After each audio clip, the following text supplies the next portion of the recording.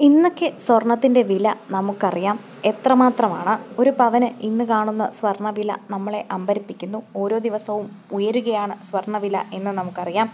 അതുപോലെ നമ്മുടെ മുന്നിൽ ഒരു ചെറിയ സ്വർണത്തരി കിട്ടിയാൽ പോലും വെറുതെ വിടാത്ത ആൾക്കാർ ചുറ്റുമുണ്ട്. അത്തരത്തിലുള്ള ആൾക്കാരുടെ ഇടയിൽ വലിയ ഒരു മാതൃകയാവുകയാണ് ഒരമ്മ ഇവിടെ. മൂന്നര പവന്റെ മാലയാണ് ട്രെയിനിൽ ലഭിച്ചത്.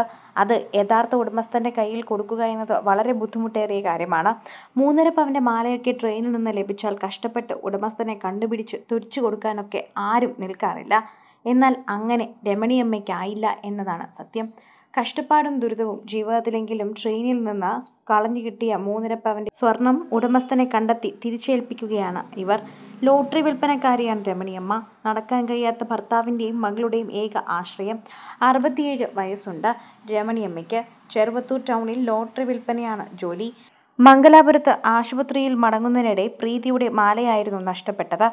മാല തിരിച്ചേൽപ്പിക്കുമ്പോൾ പ്രീതി പൊട്ടിക്കരയുകയായിരുന്നു. ഒരുപാട് നന്ദി പറഞ്ഞു. എങ്ങനെ നന്ദി പറഞ്ഞാലും തീരില്ല എന്നാണ് പ്രീതി തന്നെ പറയുന്നത്. ട്രെയിനിൽ നിന്നും കളഞ്ഞു കിട്ടിയ മൂന്നര പവൻ സ്വർണമാല ആർ പി എഫ് ഓഫീസറെ ഏൽപ്പിക്കുമ്പോൾ രമണിയമ്മ ഒന്നേ പറഞ്ഞുള്ളൂ എന്നെ അറിയിക്കുകയൊന്നും വേണ്ട സാറേ. സാർ വേഗം അവരെ കണ്ടുപിടിച്ച് കൊടുക്കണം.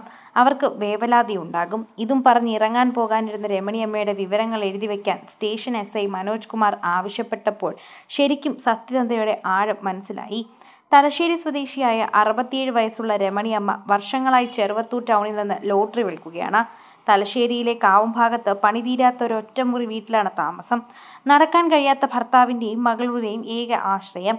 മൂന്നരപ്പവന്റെ മാല കയ്യിൽ കിട്ടിയപ്പോഴും പോലീസുകാരനോട് രമണിയമ്മ പറഞ്ഞത് അർഹതയില്ലാത്ത ഭാഗ്യം വേണ്ടെന്നാണ്. അപ്പോഴും നഷ്ടപ്പെട്ടവരുടെ വേദന മാത്രമേ രമണി അമ്മയ്ക്ക് ഓർമ്മയുണ്ടായിരുന്നുള്ളൂ. രമണിയമ്മയെ യാത്രയാക്കിയ ശേഷം ഉടമയെ കിട്ടിയാൽ അസിസ്റ്റന്റ് കളക്ടർ ഉൾപ്പെടെ വിളിച്ച് അനുമോദിക്കാനും പദ്ധതിയിട്ടെങ്കിലും രമണിയമ്മ തന്നെ മതിയെന്ന് തീരുമാനിക്കുകയായിരുന്നു എസ് ഐ മനോജ് കുമാർ. പതിവായി ചെന്നൈ മെയിൽ എക്സ്പ്രസ്സിലാണ് രമണിയമ്മ വീട്ടിലേക്ക് മടങ്ങുക. ഇന്നലെ ട്രെയിനിൽ തലശ്ശേരി എത്താറാകുമ്പോൾ ബോഗിയിൽ വെച്ച് മാല കളഞ്ഞു കിട്ടി. ട്രെയിനിൽ വെച്ച് ഡ്യൂട്ടിയിലുള്ള പോലീസുകാരനെ അറിയിച്ച് ഉടമയെ കണ്ടെത്താൻ ശ്രമിച്ചെങ്കിലും നടന്നില്ല. പിന്നീട് സ്റ്റേഷനിൽ ഇറങ്ങി ആർ പി എഫ് ഓഫീസിലെത്തി മാല ഏൽപ്പിക്കുകയായിരുന്നു. സോഷ്യൽ മീഡിയയിലും യാത്രക്കാർ ഉൾപ്പെടെ വാട്സാപ്പ് ഗ്രൂപ്പിലും പോലീസ് അറിയിപ്പ് നൽകി. രാത്രി വൈകിയാണ് തലശ്ശേരി മേലൂർ സ്വദേശി പ്രീതയാണ് മാലയുടെ അവകാശിയെന്ന് കണ്ടെത്തിയത്. മംഗലാപുരം ആശുപത്രിയിൽ പോയി മടങ്ങുന്നതിനിടെ ട്രെയിനിൽ വെച്ച് മാല നഷ്ടപ്പെട്ടതാണെന്നും രാത്രി ഉറങ്ങാൻ കിടക്കുമ്പോഴാണ് മാല നഷ്ടമായത് ശ്രദ്ധിച്ചതെന്നും ഇവർ പറയുന്നു.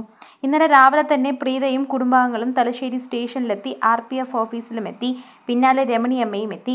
എസ് ഐ മനോജ് കുമാറിന്റെ നേതൃത്വത്തിൽ മാല തിരിച്ചേൽപ്പിക്കുമ്പോൾ പ്രീത പൊട്ടിക്കരഞ്ഞു. രമണിയമ്മയെ ആർ പി എഫ് ഉദ്യോഗസ്ഥർ പൊന്നാടയണിയിച്ച് ആദരിക്കുകയും സമ്മാനങ്ങൾ കൈമാറുകയും ചെയ്തു. അത്രമേൽ സന്തോഷത്തിൽ തന്നെയാണ് ആ കുടുംബം. അങ്ങനെ ആ കുടുംബം രമണിയമ്മയുടെ മുന്നിൽ തന്നെ കൈകൂപ്പുന്ന രംഗങ്ങളാണ് ഇന്നലെ സോഷ്യൽ മീഡിയയിൽ വൈറലായത്. സത്യസന്ധത തന്നെയാണ്. ഇന്ന് ഈ സ്വർണവില നമ്മൾ നേരിടുമ്പോൾ മൂന്നര പവനൊക്കെ വെറുതെ കിട്ടുമ്പോൾ അതൊന്ന് ദുരുപയോഗം ചെയ്യാനോ അത് സ്വന്തമാക്കാനോ പോലും ശ്രമിക്കാത്ത രമണിയമ്മയാണ് ഇന്ന് സത്യസന്ധതയുടെ നിറകുടമെന്നും അത്രയും ദാരിദ്ര്യാവസ്ഥയിൽ കടന്നിട്ട് പോലും ആ ഒരു മാല അന്യന്റെ മുതലാണെന്ന് മനസ്സിലാക്കി അവർ വിഷമിക്കുമെന്നും അവരുടെ കണ്ണീരും മനസ്സിലാക്കി രമണിയമ്മ തിരിച്ചു നൽകിയതും അതും വളരെ നല്ല കാര്യമാണെന്നും അതൊക്കെ തന്നെ നമ്മൾ എല്ലാവരും കണ്ടുപഠിക്കേണ്ടതാണെന്നും മാതൃകയാക്കേണ്ടതാണെന്നും പറയുന്നു. സിനിമ ഫാഷൻ ലൈഫ് സ്റ്റൈൽ വാർത്തകൾക്കായി മലയാളി ലൈഫ് സബ്സ്ക്രൈബ് ചെയ്യൂ. ലേറ്റസ്റ്റ് അപ്ഡേറ്റ്സിനായി ബെൽ ബട്ടണും അമർത്തും.